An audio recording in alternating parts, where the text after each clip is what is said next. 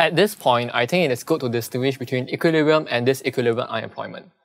Consider figure A, where the labour market is allowed to clear. The curve N represents the labour force. Notice that at high wage rates, the aggregate supply of labour tends towards N. This is intuitive, given that workers will be willing to supply more labour at higher wage rates.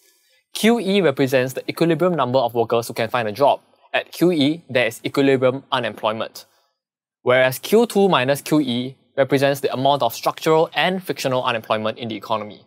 In some sense, QE represents what is full employment given our previous definition. However, let's say there's a fall in demand for labour due to a recession. The aggregate demand for labour falls.